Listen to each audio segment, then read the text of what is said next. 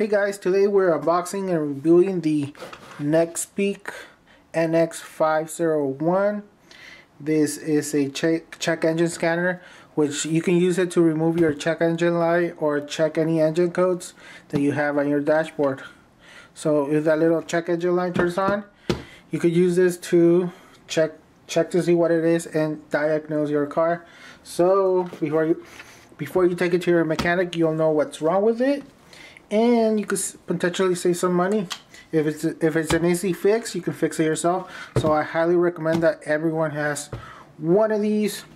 Um, a long time ago these used to cost over a hundred dollars maybe 120 140 but during the last few years we've been getting some influx of Chinese um, scanners like this one and the price has really really dropped. So there's no there's no reason why you should you shouldn't have one. Now this one is one of those Chinese ones that I've been talking about. And as you can see made in China. But they they have been really good. Now there are many brands out there and they're most they're mostly all good now let's check them out. Oh, look at this. Look at this.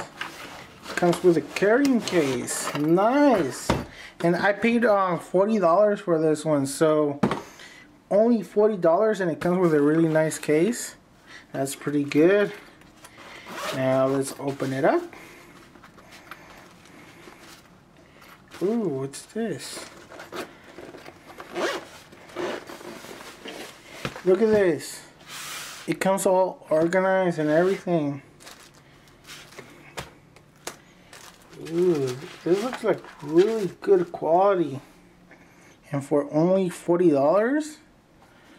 Wow. Looks pretty good.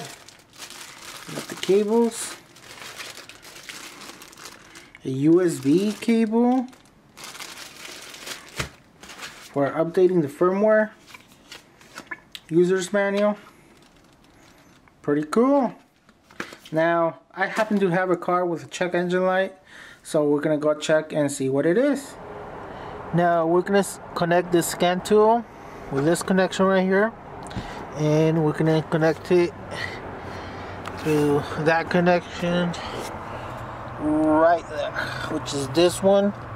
On most cars you're gonna have somewhere underneath the driver either here or somewhere here or there.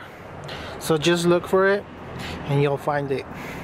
Now it should look just like this and just connect it. As you can see it has only one one way it goes in and give it a go. Now I'm gonna connect it. Now as soon as I connected it the scan tool turned on and this is what we get on the screen now, in order to diagnose the code, we have to make sure that we put the key in and we turn it to the run position like this. So all the lights are on and we get the service engine soon which is the same as the check engine line it's the same thing set 4 puts that on the service engine now we're gonna go with diagnose uh, codes and it's processing. We're gonna go to read codes.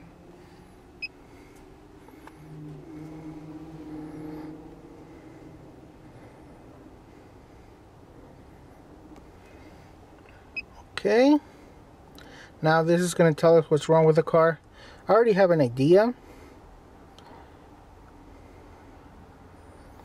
and apparently it's manufacturer specific.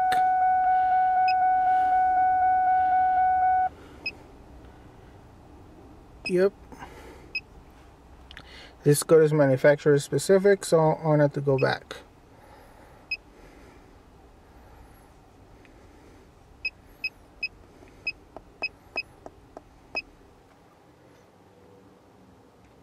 And now that I read the codes, as you can see, I erased them. So there's no more codes on the car. So the check engine light that was right there turned off. And this thing is a little bit confusing to use at first.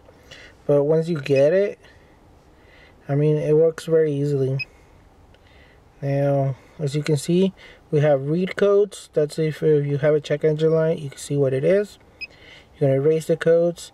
Plus you can see um, the oxygen sensor. Plus you can see a whole bunch of status sensors to see if they're working. But so far it's, it's a pretty good device. I definitely recommend it.